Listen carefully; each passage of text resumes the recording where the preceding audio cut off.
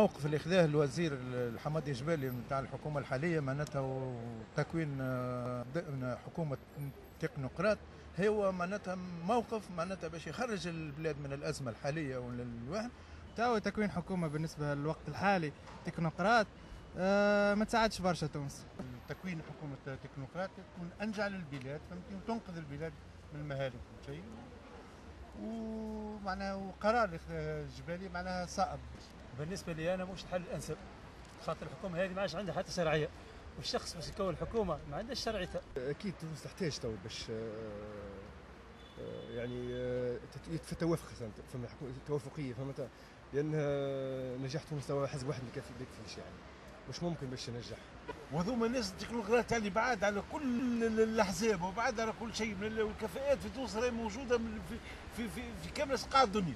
لازم تكوين حكومة معناها آه تكنوقراط ومعناها باش معناها حفاظا على مصلحة البلاد.